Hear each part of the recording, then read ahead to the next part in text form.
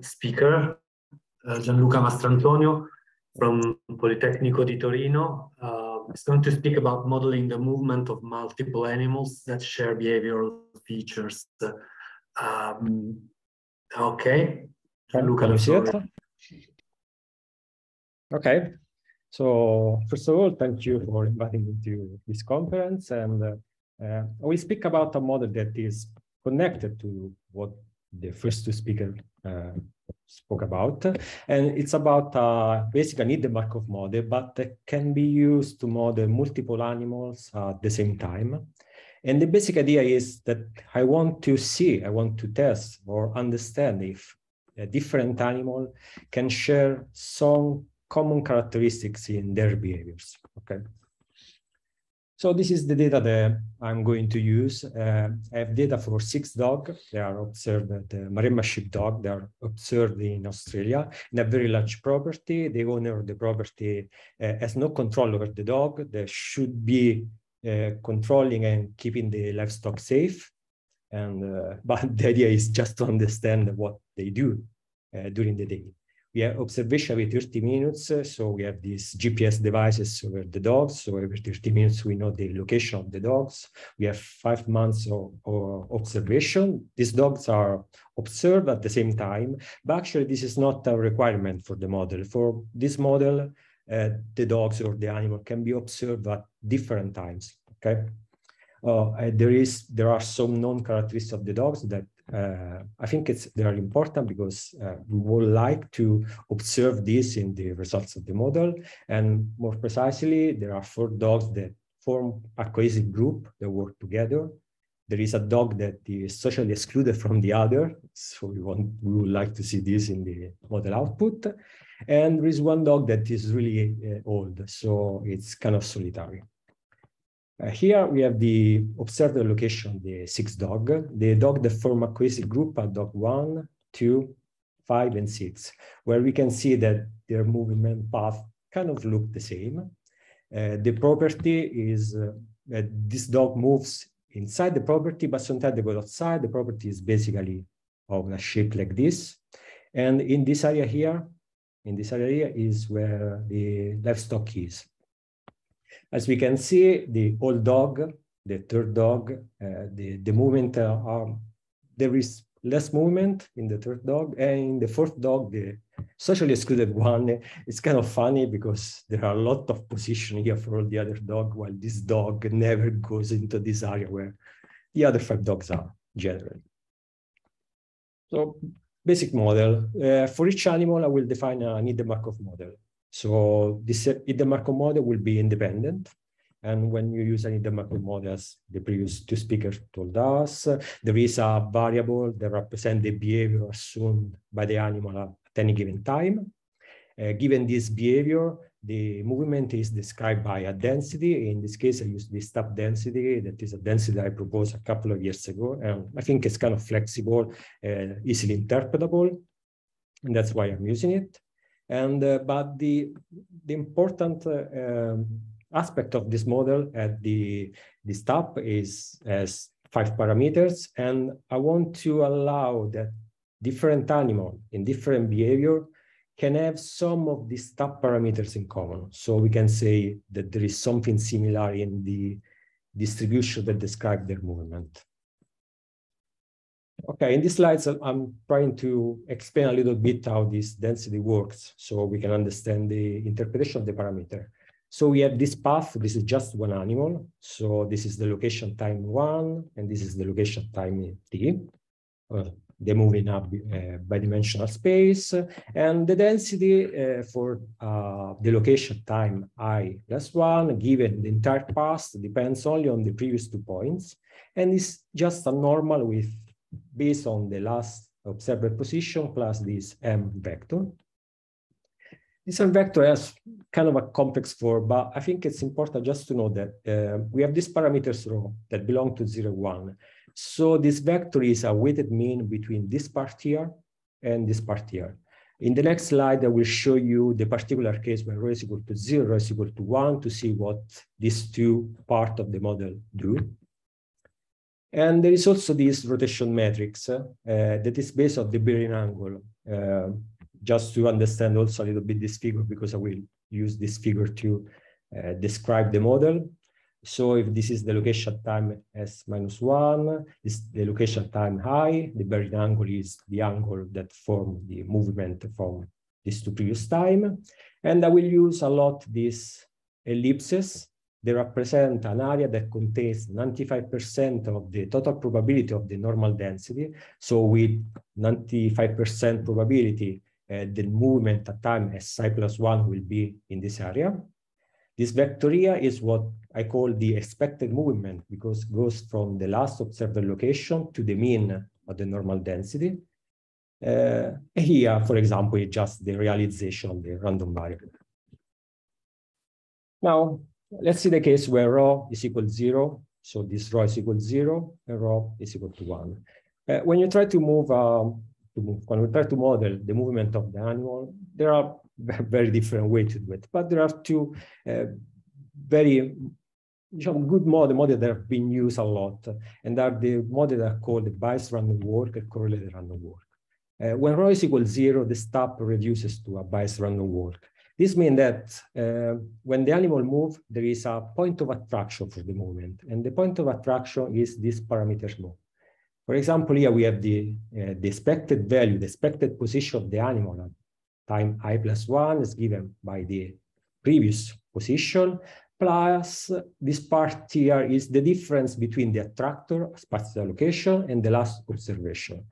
Uh, this parameter tau is between zero and one. So what I say that when the animal is far away from the attractor, the expected values uh, tends toward the attractor. And the variance in this special case uh, is just seen.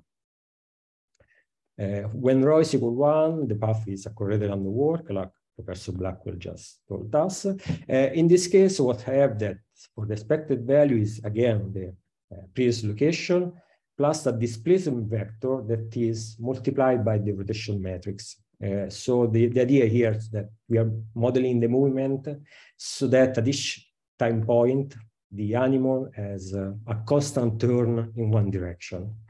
The same turn is applied, the rotation matrix applied to the variance and covariance matrices. Okay, if we go back now to the uh, general models, we can see, so this is the part model attraction, this part model the directional persistence. So this is the weighted means, and also the variance is multiplied by rho. So when rho is equal to zero, there is only attraction, the rotation matrix becomes the identity. This is sigma.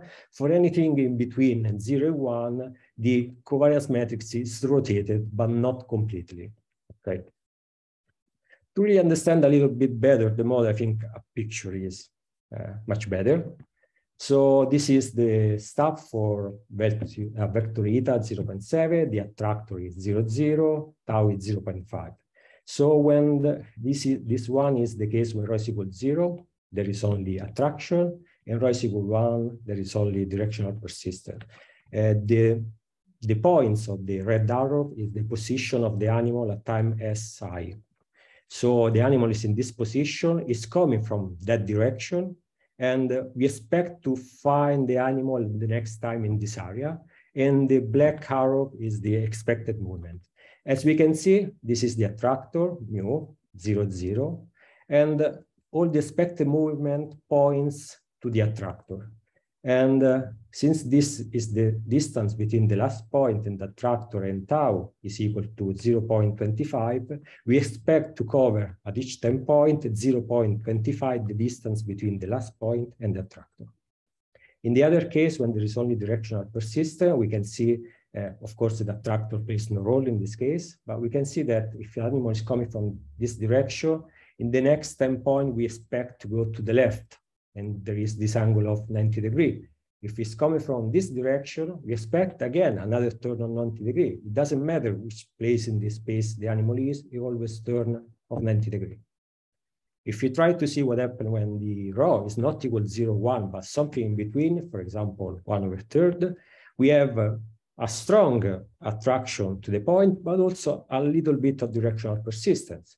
So when we have only attraction, for example, for this point here, we will expect that the uh, expected direction will be this one. If there is only attraction is this one. And so the real expected direction is something in between, closer to the attraction, but there is also directional persistence.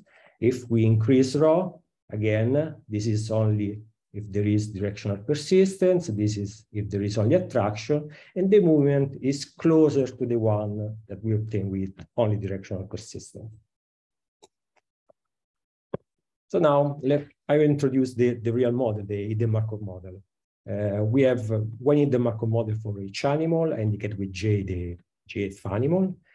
Zeta ji is the behavior assumed by the animal j at time i. And theta is the vector that contains the parameter of the STAP, the attractor, displacement, the covariance matrix, the strength of attraction, and this parameter tells me which kind of model is, how much persistence or much attraction there is.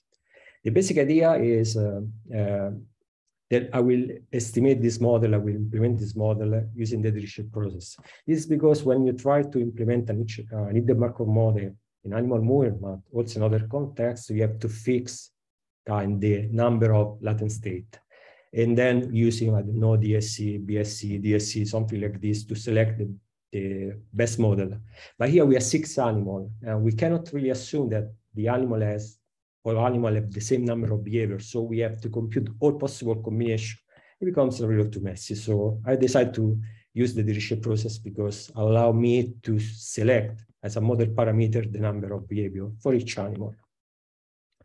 Here, uh, another thing to note is the vector parameters of the STAP parameters are animal independent. Does not depend on the animal. So each animal have the same potential behavior, but k goes from one to infinity. So we have potentially infinite, infinite behavior, and the animal can choose from this.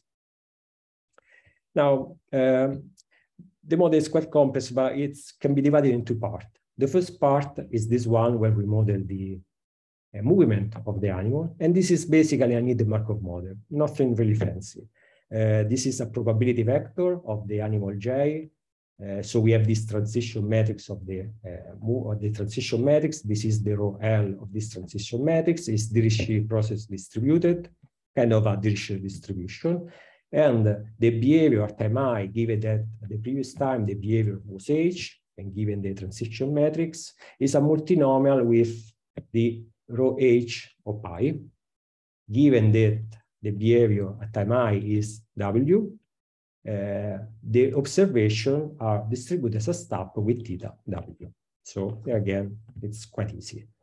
Uh, what's just important to note is that if we take this, this is a vector probability. If we take just one element, this is the probability for animal J to go from behavior L to behavior K. Uh, its expected values is a function of beta K. Beta K, this is a vector, and it's a probability vector. And uh, if we increase beta K, we increase the probability or the expected values of the probability to go from any behavior to behavior K. Now, the uh, novelty on this work is how we will define the distribution over theta k over for k that goes from 1 to infinity. And now I will define the distribution of the probability vector. And there, are a lot of distribution, but actually I think it's kind of easier to explain it. So we have the five parameter of the STAP. Okay, we have mu, eta, sigma, tau, rho. For each of these, I define a discrete distribution. So this is a discrete distribution, and I'm saying that with probability, for example, beta star mu one uh, is selected the values mu star one.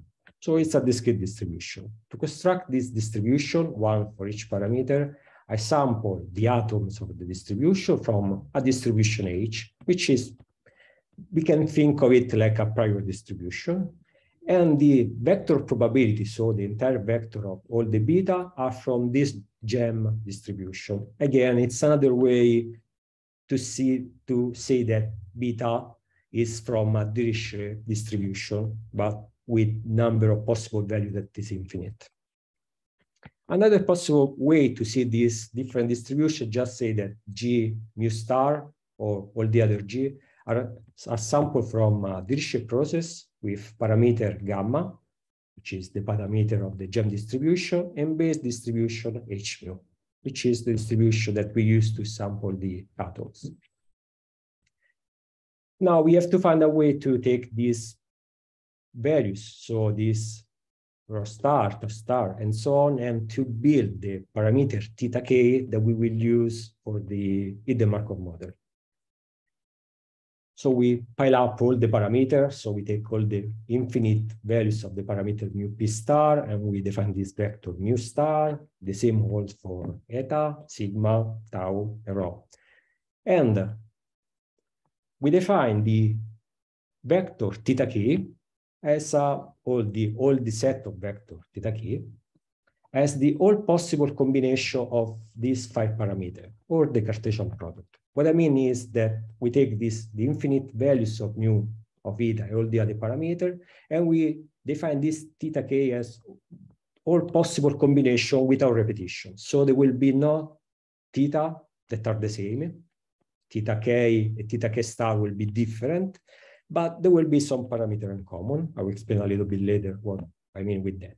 Okay, so for example, the intro theta one, there will be one possible of this mu p, there will be one of these eta p, and so on and so on. And so we can introduce basically this variable that tells us which one of these elements, the star variable, are inside theta.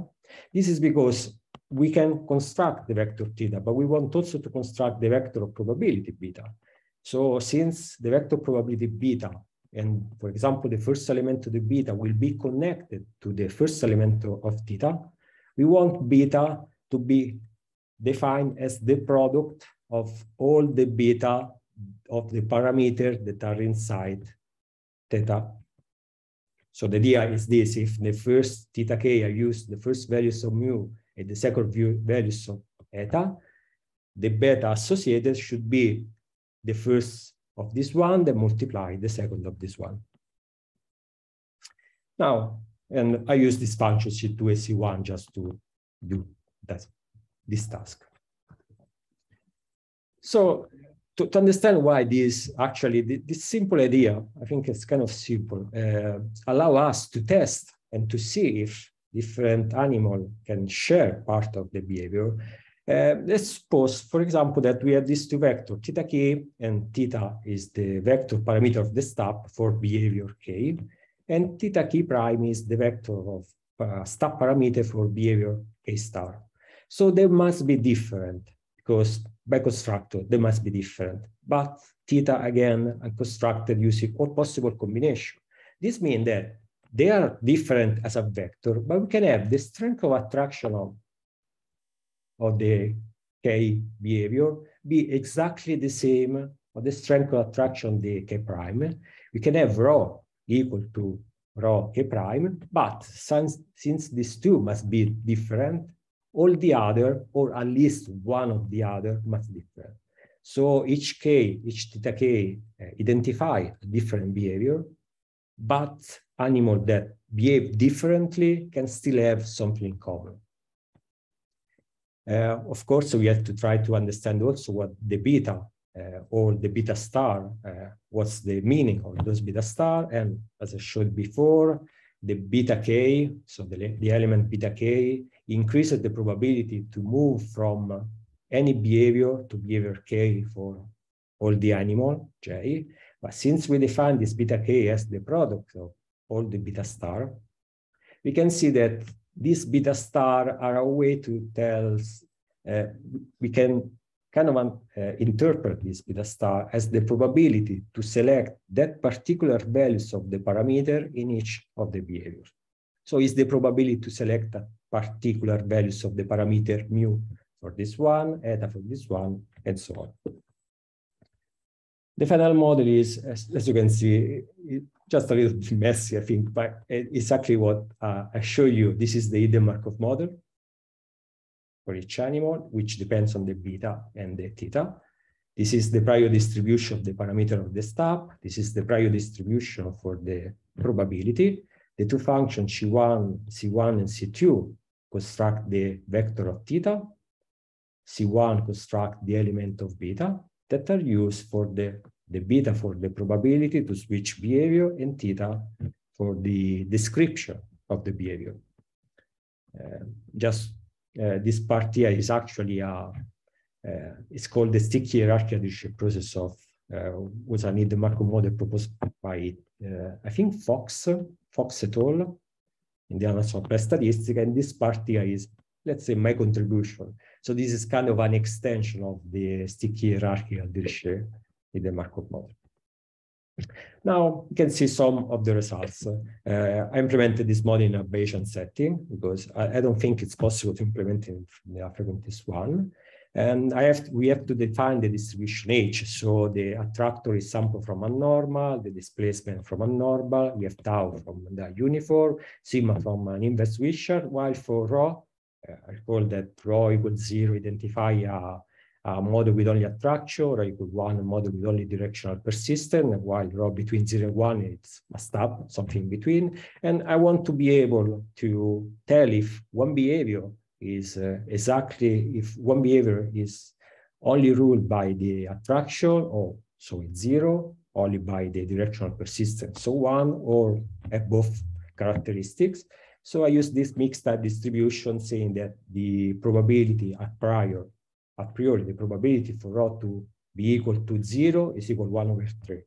To be equal to one is uh, one over three, while it's uniform between zero and one, zero, one excluded. There are also some other prior distribution for the parameters of these are the parameters of the transition matrix, and this for the Dirichlet processes. And now we can kind of look at the results. Uh, uh, first of all, uh, we have this six dog, and for five dogs, the model find three behavior. And just for one, it finds two. Okay. Now, again, for each of the parameter of the model and for each behavior, we can actually have, we have a probability that tells us if they are exactly the same values. So for example, here, we have the six dog. This is the attraction, the attractor. We have the six dog here and the sixth dog here. The B are the behavior. So behavior one, behavior two, behavior three of the first dog, and so on. As you can see, only this one has two behavior. And a red uh, square indicates a probability that is close to one, a white is close to zero. As we can see, for example, it's interesting that the dog one, two, five, and six are the dog from the cohesive group. And in the third behavior, the dog one, dog two, five, and six, they have basically the same attractor. There's a probability almost one that the attractor is the same. Why dog two, dog three, and dog four, uh, this is the excluded one, socially excluded. This is the odd one. Uh, the attractor, yeah, a little bit for the odd one, but for the excluded one, it, it has no attractor equal to the other one. Uh, we can actually, uh, I, I, don't think it's really helpful to, to look at this picture. This picture just, just to give you an idea that we can actually compute and evaluate what the, the, similarities between the behaviors. For example, here for sigma, there is a lot of similarities, but I think it's more interesting to look at pictures of the behavior.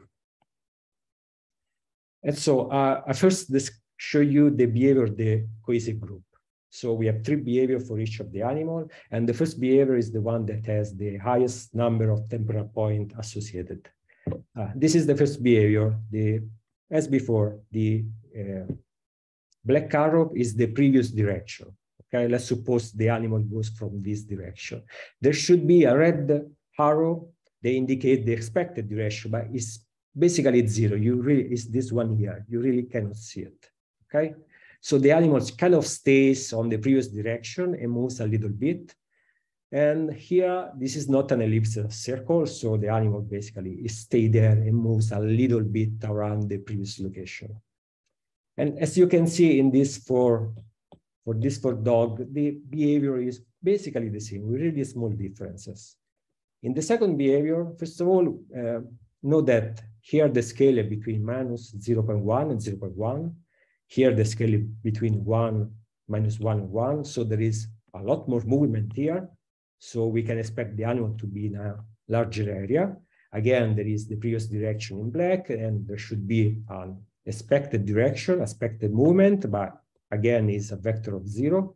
But here we can kind of see a little bit of directional persistence because, for example, here is an ellipse like this. Gianluca, two minutes. Yes. Yeah, yeah, I'm done. Thank you. So if you go from this direction, there is this ellipse. If it goes from this direction, there is this other one. Okay.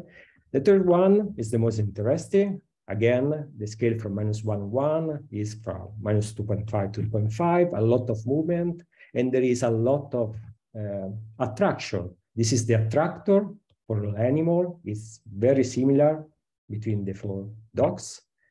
And uh, here is basically where the ships are, where the livestock is. So in this behavior, they are going and they are staying with the, with the ship, okay?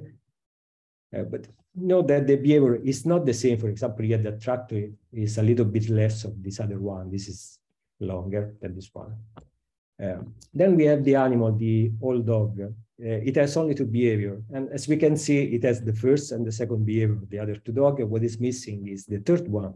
And the third one is basically the one with the highest speed, highest movement. So maybe she is too old to do it. That's what I think it's happening. And the most interesting one probably is the socially excluded dog. As we can see, it has the third behavior, which is similar to the first behavior of the other dog.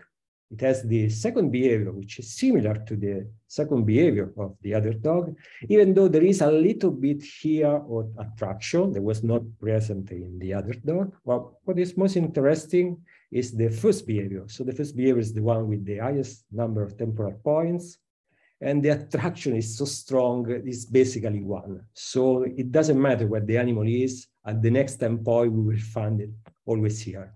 And this attractor here is not the same of the other dog. The other attractor for the other dog is kind of here, while here is a little bit different. And uh, the reason is this one is where the ships are.